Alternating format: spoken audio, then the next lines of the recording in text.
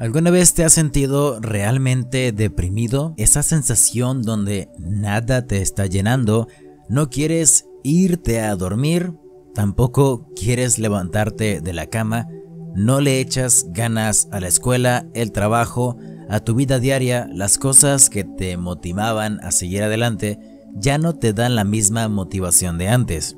De eso trata este episodio, Bodoque deprimido. Es duro pensar que una de las grandes estrellas de todo un programa infantil tenga un episodio que es bastante deprimente, que si bien este capítulo en general no muestra escenas que son fuertes para un niño, para nosotros como adultos o como adolescentes que veamos este capítulo, es muy probable sentirse identificados con lo que llega a pasar en este episodio. Así que por favor quiero que te quedes para el final de este video en dado caso de que tú te sientas en una posición muy similar a la de Juan Carlos Bodoque porque quisiera que llegaras a escuchar las palabras que tengo para ti. Yo soy David del canal de Stupid Punks y hoy les hablaré sobre el episodio más deprimente en 31 minutos. Luego de la clásica intro del programa con la música, tenemos esa misma introducción en la que Juanín es partícipe buscando a Tulio, diciendo que está en el aire. Sin embargo, en esta ocasión hace aparición en escena y se nota bastante preocupado, pero al parecer se debe a que Tulio no ha llegado, a pesar de que ya está en el aire. Tulio llega avisando que los motivos de su tardanza se deben a que se quedó dormido soñando que era el rey del universo. Tulio le pregunta a Juanín qué es lo que le ocurre al notarlo muy preocupado y por el hecho de que no para de caminar en círculos por todo el set de filmación. Y este le responde que está así debido a que Juan Carlos Bodoque, una de las personas más optimistas que Tulio dice conocer, se encuentra deprimido y piensa que la vida no tiene sentido y que no vale absolutamente nada. Juan Carlos hace aparición en escena llegando con una actitud muy decaída y hablándole bastante grosero y golpeado a sus compañeros de trabajo. Juan Carlos se nota muy sucio y con las orejas desarregladas, una barba muy mal cuidada, una ropa sin lavar y para terminar con su descripción, un cigarrillo. Tulio le pregunta a Juan Carlos qué le sucede y este le dice que nada, diciendo que ese es el problema, nunca sucede nada y que vive en una rutina en la que todos los días ocurre lo mismo una y otra y otra y otra vez.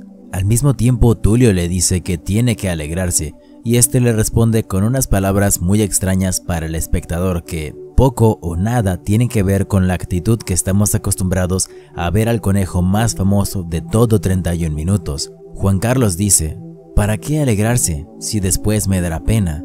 ¿Para qué levantarme si después tendré que acostarme? ¿Para qué me peino si después me despeino? Tulio le pide que se vaya, pero Juan Carlos se pone muy insistente con sus pensamientos, diciéndole que ¿para qué se va si después tiene que volver?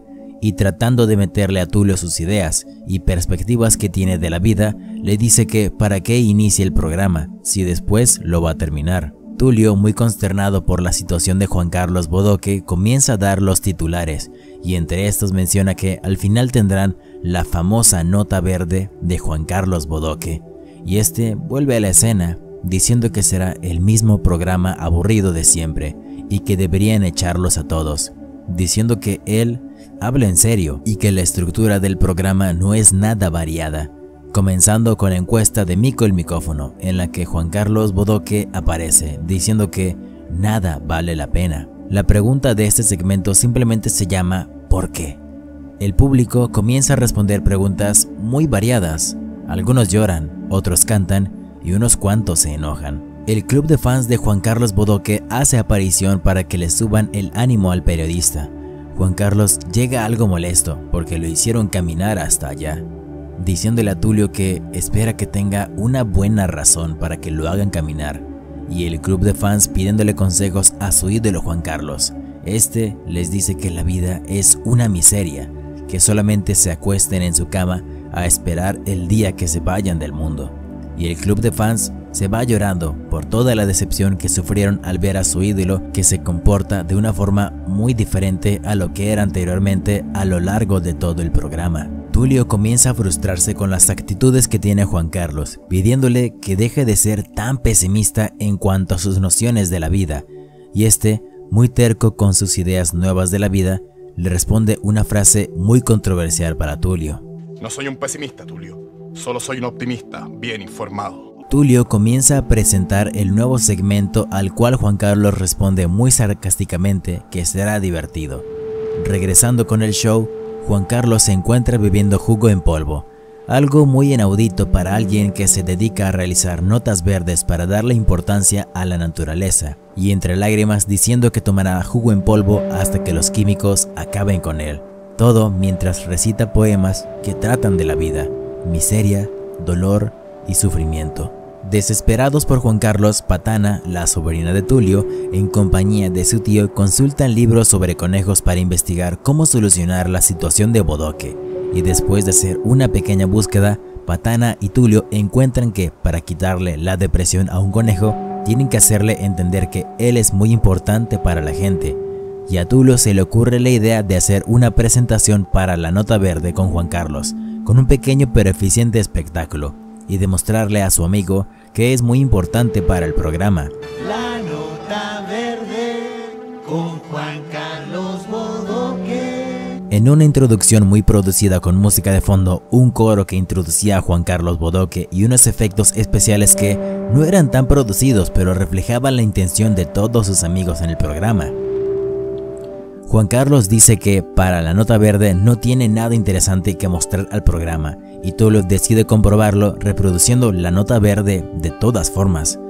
Comienza una nota verde bastante simple y sin ganas de sorprendernos por parte de Juan Carlos mostrando que todo inicia con su ida al baño para tomar una ducha, y después de ver su experiencia con arañas y superándola, se da cuenta de que salió de una para entrar en otra, refutando su teoría de que la vida no tiene sentido y que dicha nota verde depresiva refleja el estado de su alma destrozada. Y es donde Tulio y el resto del programa se enteran que la situación de Juan Carlos se debió a su experiencia con las arañas y posteriormente con ratones. Tulio explota y le grita a Juan Carlos que deje de comportarse así, pero Juan Carlos lo ignora y le dice que se irá a llorar a un rincón sin sentido para no ser molestado por nadie. Patana le da una idea bastante buena a Tulio, una entrevista para darle a entender que es una persona muy importante. A la fuerza logran que Juan Carlos acepte la entrevista, y en esta misma se contactan con el maestro de Juan Carlos, y en un intento desesperado tratan de traer a la novia de Bodoque, pero el problema sale a la luz porque cuenta con más de una novia y solamente empeoran las cosas y termina con todas sus novias al decirle que ya no cree en el amor y les grita que se retiren. Juan Carlos renuncia justificándose que está aburrido y le dice que tiene ropa fea y mugrosa, además de muchas deudas de apuestas. Tulio le regala ropa y le paga todas sus deudas, pero Juan Carlos sigue sin cambiar su decisión. No hasta que Tulio le dice que él anime el programa, diciéndole que está dispuesto a hacerlo para que se sienta mejor. Juan Carlos no sabe qué hacer. En un tono serio, solamente está imitando lo que hacía Tulio cuando era conductor. Juan Carlos sigue deprimido, y aún con todo lo que le fue otorgado, renuncia diciendo que aceptará un empleo en la radio diciendo que será un nuevo desafío para él. Justo aquí Juan Carlos prepara un video que conmemora sus mejores momentos. Abandona el programa y todos lloran por su partida. Pasan dos meses y Juan Carlos es reemplazado por Guaripolo, pero no se puede superar a Juan Carlos, quien era un conejo preocupado por la naturaleza y ahora Guaripolo es una persona que no sabe hacer su trabajo. Se nos muestra cómo le va a Juan Carlos en su nuevo trabajo siendo conductor de un programa de radio, mostrando música y canciones del momento. Sin embargo, se da cuenta de que es un trabajo bastante aburrido y deprimente para él. Tulio se molesta con Guaripolo porque él dice ser mejor que Juan Carlos, cosa que Tulio insiste que no lo es. Después de que Tulio se siente bastante mal por perder a Juan Carlos y han pasado dos meses, se le ocurre una idea que todo el equipo de 31 minutos sigue. Los del programa deciden renunciar a sus empleos para irse a trabajar en la radio con Juan Carlos, al extrañarlo demasiado, y este los recibe al decirles que lo salvaron, ya que estaba a punto de lanzarse de un puente por su trabajo muy aburrido. Todos sabemos qué es lo que pensaba hacer Juan Carlos. Este se encuentra bastante feliz de encontrarse con sus amigos y al parecer esta depresión por todo el episodio se ha ido, ya que él mismo propone festejar con buena música y reproduce un vinil en la radio, y comienza a bailar con sus amigos que hace meses que no veía. Acabamos el episodio con todos los del programa en la radio festejando su reencuentro con Juan Carlos. Sin embargo, ninguno puede hacer bien su trabajo al estar acostumbrados a estar ante una cámara, y un cambio radical es bastante para ellos.